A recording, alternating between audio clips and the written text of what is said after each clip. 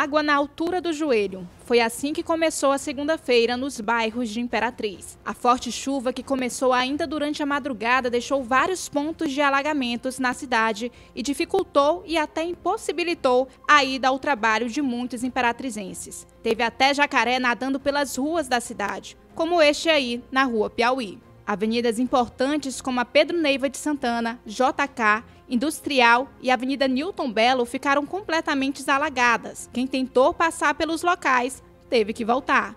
No bairro Vila João Castelo, os moradores não puderam sair de casa. Situação parecida com a dos moradores do bairro Nova Imperatriz, Vila Redenção e Bacuri. Essa é a realidade dos moradores aqui da Vila João Castelo na época de chuva.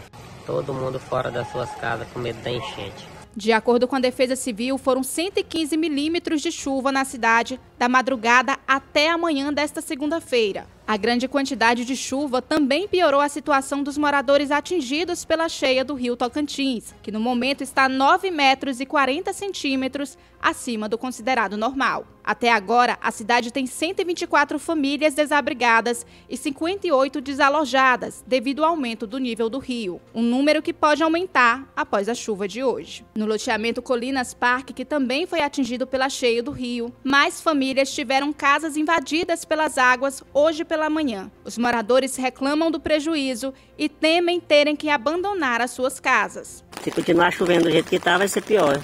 Infelizmente, a, a empresa que vendeu o, os lotes para a gente aqui disse que tinha, não tinha rede de alagamento, tinha toda a infraestrutura. E a situação é essa. Sem poder trabalhar, sem poder tirar os carros da garagem, os imóveis aqui de 300, 400, casa aqui que é avaliada tem 500 mil reais. E hoje, no, se for brincar, não vale 200. E ninguém tem coragem de comprar uma casa para cá, né?